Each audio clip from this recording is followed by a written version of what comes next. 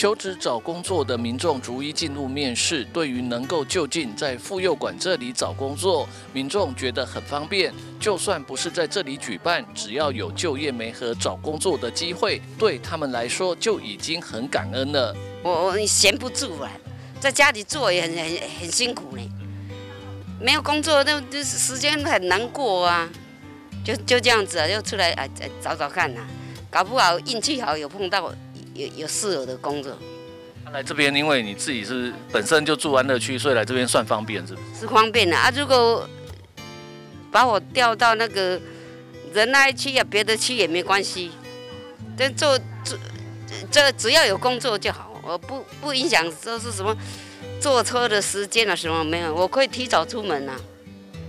对，有工作最重要。对，有工作最重要。为了协助更多要找工作的民众，基隆就业中心特地进入社区，在安乐区基隆市政府社会处妇幼福利服务中心，也就是妇幼馆，办理今年度最后一场前进社区征才活动。明年四月左右将举办一场更大型的就业博览会。我们今天邀请到五家不错的厂商前来，那现场大概提供了一百五十七个职缺。那大约有作业员啊、工程师，好，还有这个保全人员、储备干部，好，还有这个仓储，然后甚至还有这个校园的清洁人员。对，我们一年大概两到三次。那其实我们每年都也会跟社会处这边合作，然后一起办理，那帮助这个民众。我们明年度啊会在基隆市举办一个大型的就业博览会。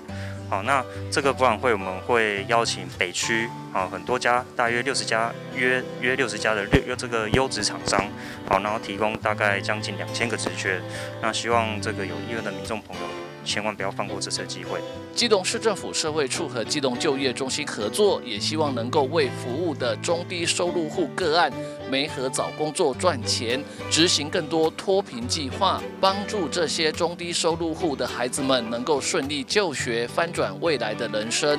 服务的部分，常服务到一些弱势、经济弱势的家庭。那这些家庭，我们就会除了就是第一点，我们可能会引荐他们过来这边做一些就业媒合的服务以外，那第二点，同时也是希望他们找到工作以后，那可以将一部分的薪水，那提拨到我们的额少发展账户，那给我们经济弱势的这些低收还有中低收的孩子，那提拨这一帮他们存一部分的钱，那同时我们政府也会提拨一部分的存款到这个专户中，那作为他们以后就业或是就学的基金。